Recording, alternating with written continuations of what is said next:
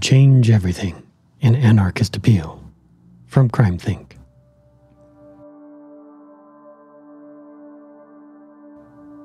If you could change anything, what would you change? Would you go on vacation for the rest of your life? Make fossil fuels stop causing climate change?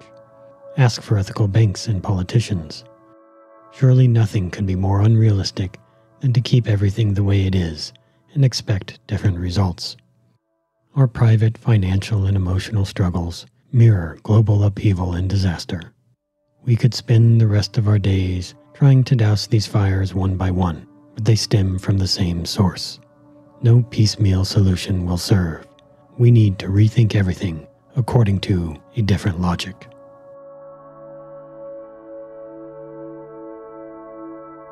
To change anything, start everywhere.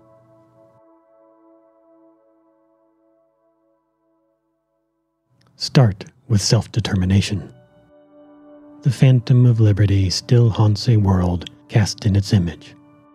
We have been promised complete self determination. All the institutions of our society are supposed to deliver it. If you had complete self determination, what would you be doing right now? Think of the vast potential of your life, the relationships you could have, the things you could experience, all the ways you could give meaning to your existence. When you were born, it seemed there was no limit to what you could become. You represented pure possibility. Usually, we don't stop to imagine any of this.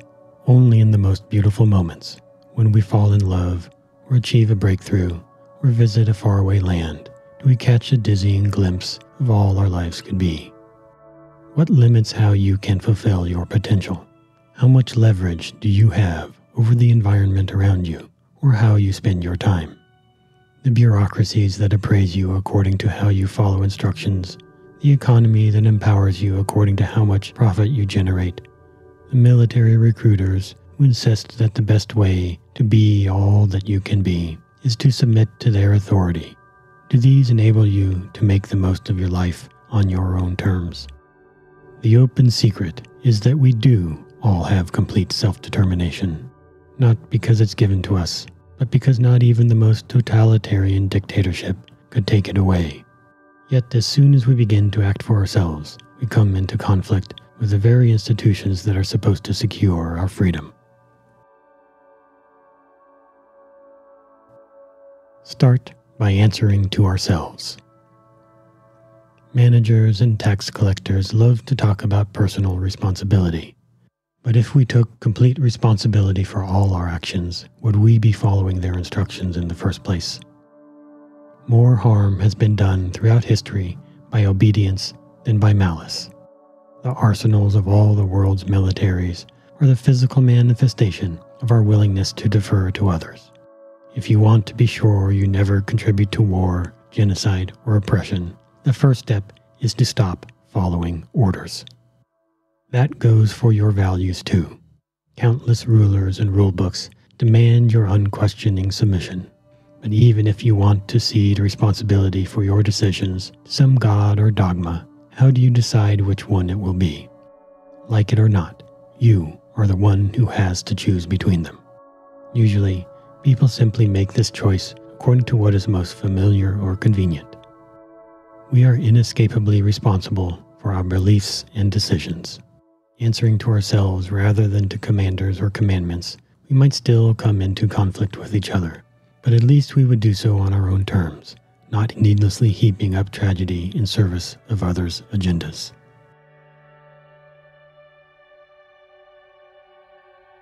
Start by seeking power, not authority. The workers who perform the labor have power. The bosses who tell them what to do have authority. The tenants who maintain the building have power. The landlord whose name is on the deed has authority. A river has power. Permit to build a dam grants authority. There's nothing oppressive about power per se. Many kinds of power can be liberating. The power to care for those you love, to defend yourself and resolve disputes, to perform acupuncture and steer a sailboat and swing on a trapeze, there are ways to develop your capabilities and increase others' freedom as well. Every person who acts to achieve her full potential offers a gift to all. Authority over others, on the other hand, usurps their power. And what you take from them, others will take from you. Authority is always derived from above. The soldier obeys the general, who answers to the president, who derives his authority from the Constitution. The priest answers to the bishop, the bishop to the pope, the pope to scripture, which derives its authority from God. The employee answers to the owner, who serves the customer, whose authority is derived from the dollar.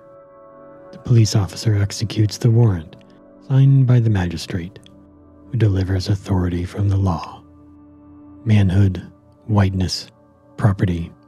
At the tops of all these pyramids, we don't even find despots, just social constructs, ghosts hypnotizing humanity. In this society, power and authority are so interlinked that we can barely distinguish them. We can only obtain power in return for obedience. And yet, without freedom, power is worthless.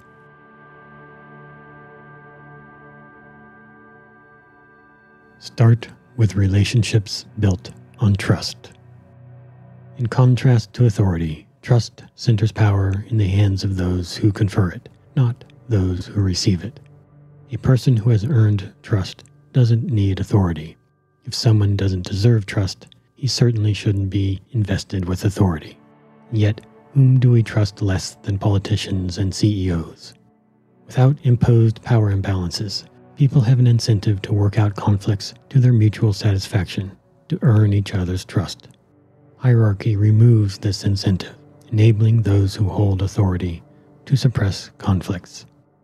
At its best, friendship is a bond between equals who support and challenge each other while respecting each other's autonomy.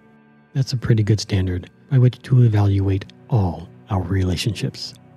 Without the constraints that are imposed upon us today, citizenship and illegality, property and debt, corporate and military chains of command, we could reconstruct our relations on the basis of free association and mutual aid.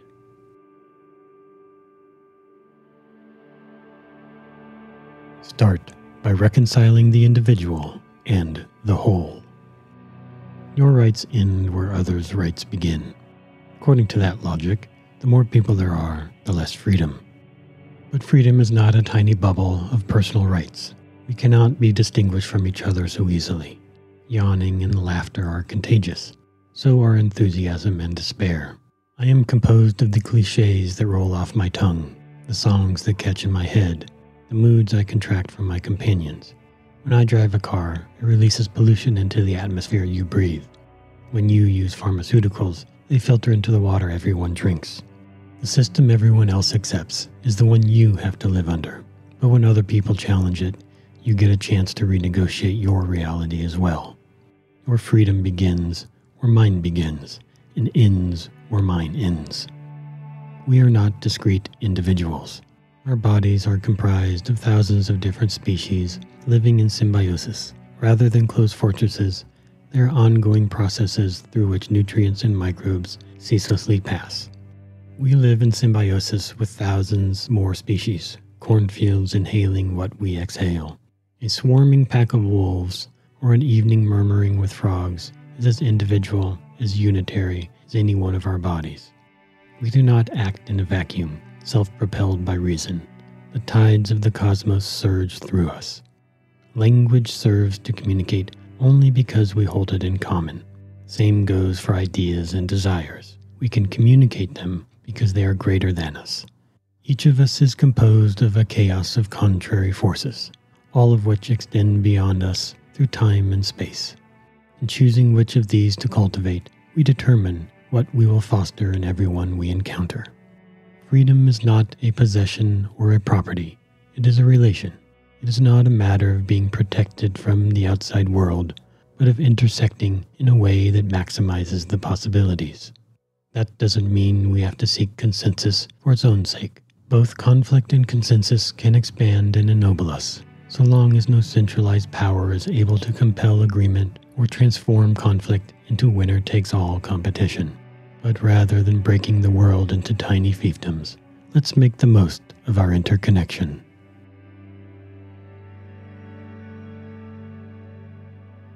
Start with the liberation of desire. Growing up in this society, not even our passions are our own. They are cultivated by advertising and other forms of propaganda to keep us running on the treadmills of the marketplace. Thanks to indoctrination, people can be quite pleased with themselves for doing things that are bound to make them miserable in the long run. We are locked into our suffering, and our pleasures are the seal. To be truly free, we need leverage over the processes that produce our desires. Liberation doesn't just mean fulfilling the desires we have today, but expanding our sense of what is possible, so our desires can shift along with the realities they drive us to create. It means turning away from the pleasure we take in enforcing, dominating, and possessing to seek pleasures that wrench us free of the machinery of obedience and competition.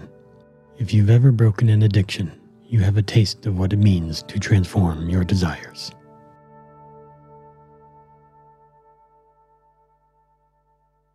Start with revolt.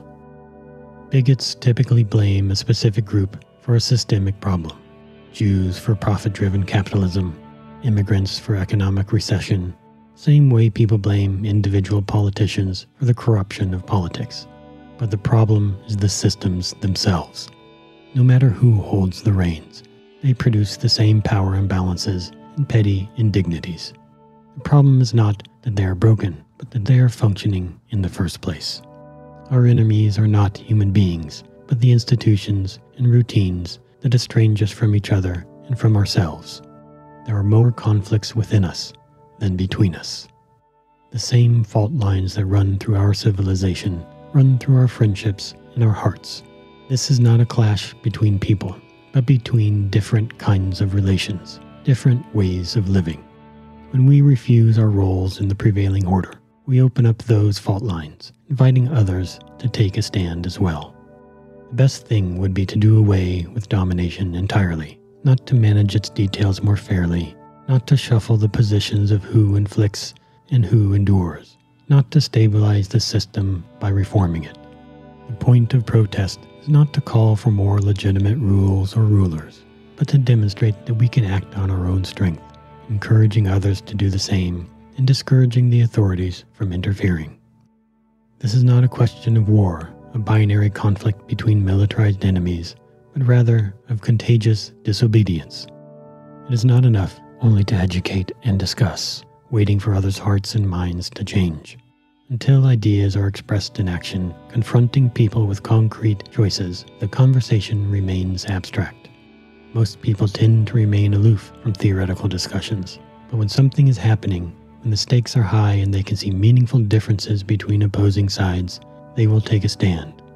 We don't need unanimity, nor a comprehensive understanding of the whole world, nor a roadmap to a precise destination, just the courage to set out on a different path. The problem is control. What are the signs that you are in an abusive relationship? The abuser may try to control your behavior or dictate your thoughts, block or regulate your access to resources, use threats or violence against you, or keep you in a position of dependence under constant surveillance. This describes the behavior of individual abusers, but it also goes for the IRS, the NSA, and most of the other institutions governing our society. Practically all of them are based on the idea that human beings need to be policed to be managed, to be administered. The greater the imbalances that are imposed on us, the more control it takes to preserve them. At one end of the power continuum, control is exercised brutally on an individual basis. Drone strikes, SWAT teams, solitary confinement, racial profiling. At the other end, it is omnipresent and invisible, built into the infrastructure of society. The equations that determine credit ratings and insurance premiums, the ways statistics are collected and turned into urban planning, the architecture of dating sites and social media platforms. The NSA monitors what we do online, but it doesn't wield as much control over our reality as the algorithms that determine what we see when we log in. When the infinite possibilities of life have been reduced to an array of options coded in ones and zeros, there will be no more friction between the system we inhabit and the lives we can imagine. Not because we will have achieved total freedom, but because we will have perfected its opposite. Freedom doesn't mean choosing between options, but formulating the questions.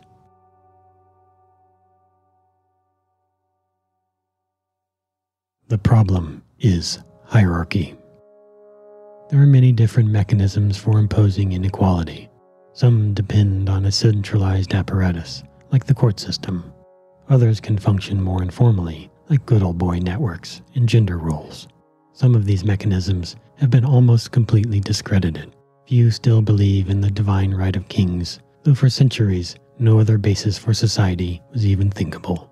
Others are still so deeply ingrained that we cannot imagine life without them. Who can picture a world without property rights? Yet all of these are social constructs. They are real, but not inevitable. The existence of landlords and CEOs is no more natural, necessary, or beneficial than the existence of emperors. All of these mechanisms develop together, reinforcing each other. The history of racism, for example, is inextricable from the history of capitalism. Neither one is conceivable without colonization, slavery, or the color lines that divided workers and still determine who fills the world's prisons and shantytowns. Likewise, without the infrastructure of the state and the other hierarchies of our society, individual bigotry could never enforce systemic white supremacy. That a black president can preside over these structures only stabilizes them. It is the exception that justifies the rule. To put it another way, as long as there are police, who do you think they will harass? As long as there are prisons, who do you think will fill them? As long as there is poverty, who do you think will be poor? It is naive to believe that we could achieve equality in a society based on hierarchy.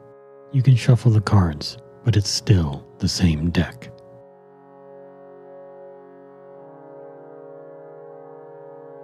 The problem is borders. If a foreign army invaded this land, cut down the trees, poisoned the rivers, and forced children to grow up pledging allegiance to them, who wouldn't take up arms against them? But when the local government does the same, patriots readily render their obedience, tax dollars, and children. Borders don't protect us, they divide us, creating needless friction with the excluded while obscuring real differences among the included. Even the most democratic government is founded upon this division between participants and outsiders, legitimate and illegitimate. In ancient Athens, the famed birthplace of democracy, only a fraction of the men were included in the political process. The founding fathers of modern day democracy owned slaves, Citizenship still imposes a barrier between included and excluded inside the US, stripping millions of undocumented residents of leverage over their lives.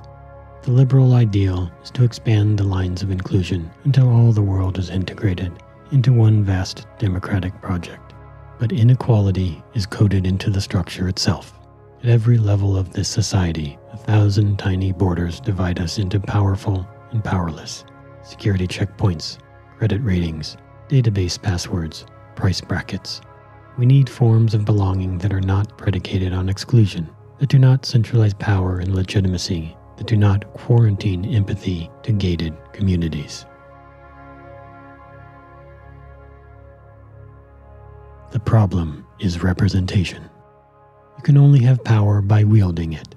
You can only learn what your interests are by acting on them. When every effort to exert leverage on the world must be channeled through the mediation of representatives or translated into the protocol of institutions, we become alienated from each other and our own potential. Every aspect of our agency that we yield reappears as something unrecognizable and hostile to us. The politicians who always disappoint us only show how much power we have given up over our own lives. The violence of the police is the dark consequence of our desire to avoid personal responsibility for what happens in our neighborhoods. In the digital age, when every person must continually serve as his own secretary to manage his public image, our very reputations have become external, like vampires feeding on us. If we weren't isolated from each other, competing to sell ourselves on so many professional and social markets, would we invest so much time and energy in these profiles, golden calves made in our own image. We are irreducible. Neither delegates nor abstractions can stand in for us. In reducing human beings to demographics and raw experience to data, we lose sight of everything that is precious and unique in the world. We need presence, immediacy, direct contact with each other, direct control over our lives, things no representative representation can deliver. The problem is leaders. Leadership is a social disorder in which the majority of participants in a group fail to take initiative or think critically about their actions. As long as we understand agency as a property of specific individuals rather than a relationship between people, we will always be dependent on leaders and at their mercy. Truly exemplary leaders are as dangerous as the obviously corrupt, in that all their praiseworthy qualities only reinforce their status and others' deference not to mention the legitimacy of leadership itself. When the police arrive at a protest, their first question is always, Who's in charge? Not because leadership is essential to collective action, but because it presents a vulnerability. The conquistadors asked the same question when they arrived in the so called New World. Wherever there was an answer, it saved them centuries of trouble subduing the population themselves. So long as there is a leader, he can be deputized, replaced, or taken hostage. At best, depending on leaders is an Achilles heel. At worst, it reproduces the authorities' interests and power structure inside those who oppose them. It's better if everyone has her own agenda and a sense of her own agency.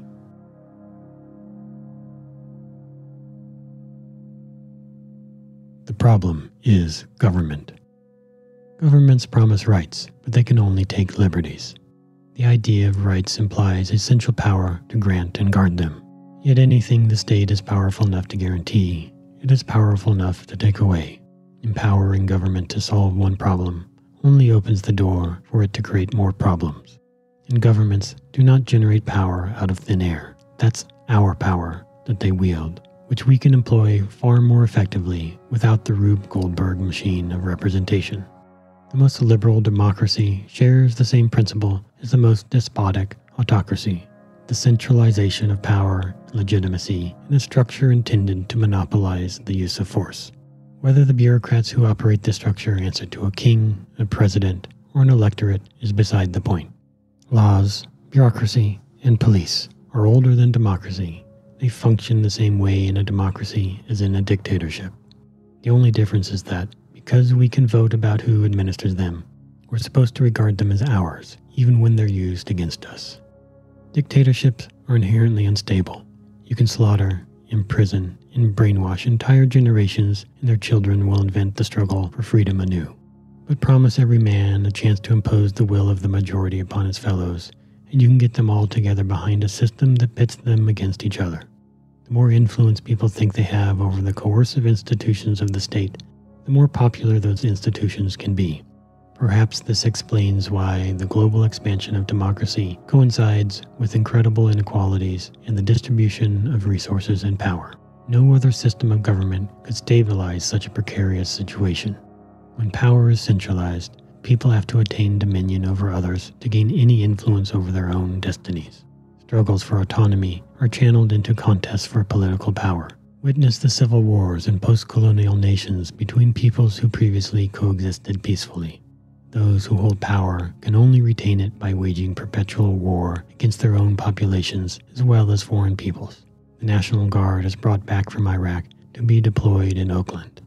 Wherever there are hierarchies, it favors the ones on top to centralize power. Building more checks and balances into the system just means relying on the thing we need to be protected from for protection.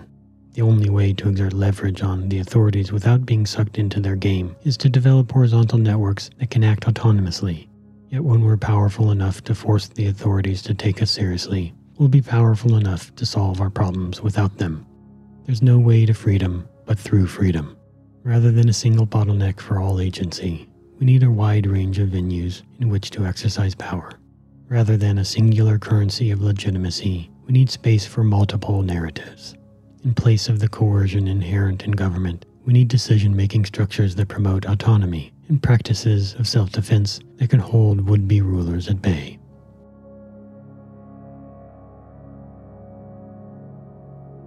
The problem is profit.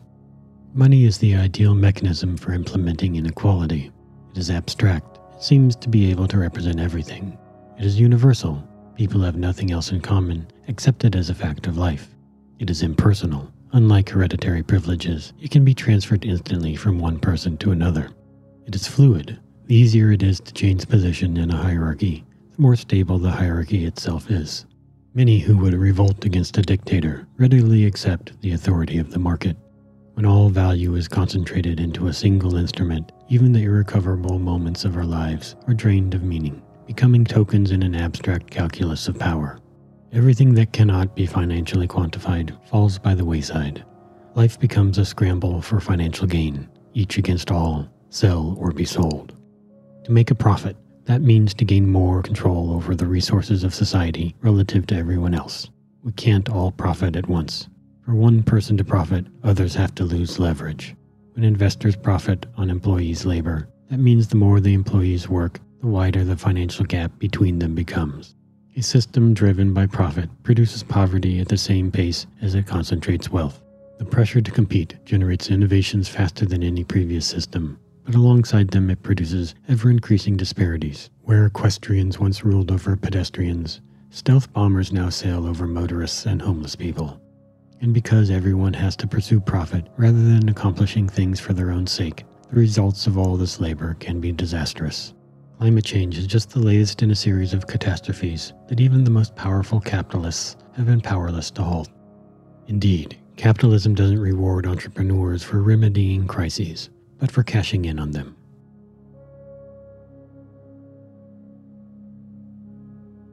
The problem is property. The foundation of capitalism is property rights, another social construct we inherited from kings and aristocrats. Property shifts hands more rapidly today, but the concept is the same. The idea of ownership legitimizes the use of violence to enforce artificial imbalances in access to land and resources.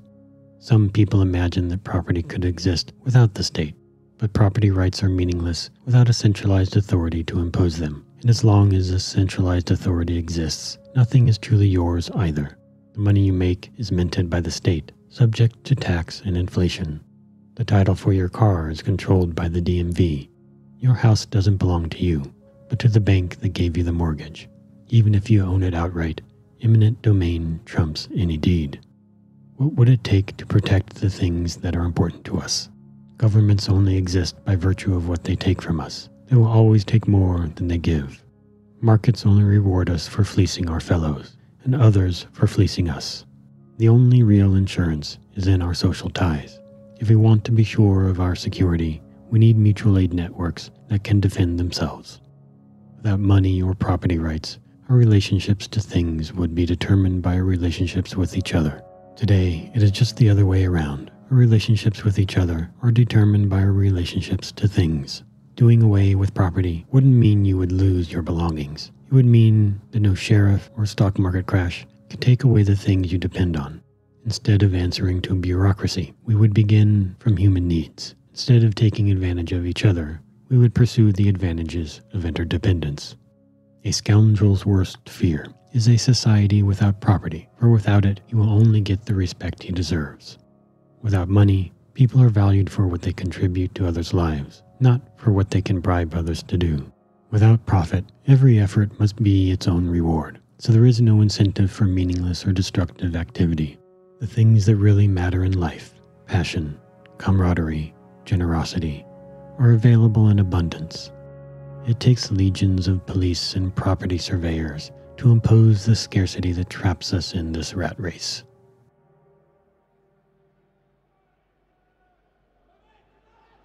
The last crime. Every order is founded on a crime against the preceding order, the crime that dissolved it. Afterwards, the new order comes to be perceived as legitimate as people begin to take it for granted.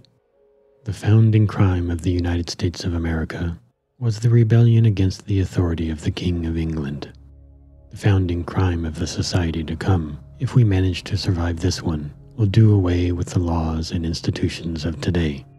The category of crime holds everything that exceeds the limits of a society, its worst and its best. Every system is haunted by all that it cannot incorporate or control. Every order contains the seeds of its own destruction. Nothing lasts forever. That goes for empires and civilizations too. But what could supersede this one?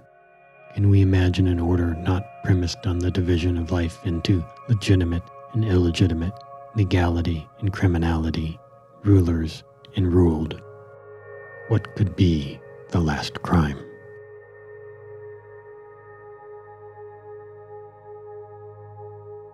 Anarchy is what happens wherever order is not imposed by force. It is freedom, the process of continually reinventing ourselves and our relationships. Any freely occurring process or phenomenon, a rainforest, a circle of friends, your own body, is an anarchic harmony that persists through constant change. Top down control, on the other hand, can only be maintained by constraint or coercion the precarious discipline of the high school detention room, a factory farm in which pesticides and herbicides defend sterile rows of genetically modified corn, the fragile hegemony of a superpower. Anarchism is the idea that everyone is entitled to complete self determination. No law, government, or decision making process is more important than the needs and desires of actual human beings. People should be free to shape their relations to their mutual satisfaction and to stand up for themselves as they see fit. Anarchism is not a dogma or a blueprint. It is not a system that would supposedly work if only it were applied right, like democracy, nor a goal to be realized in some far off future, like communism. It is a way of acting and relating that we can put into practice right now. In reference to any value system or course of action, we can begin by asking, how does it distribute power? Anarchists oppose all forms of hierarchy, every currency that concentrates power into the hands of a few, every mechanism that puts us at a distance from our potential. Against closed systems, we relish the unknown before us, the chaos within us, by virtue of which we are able to be free.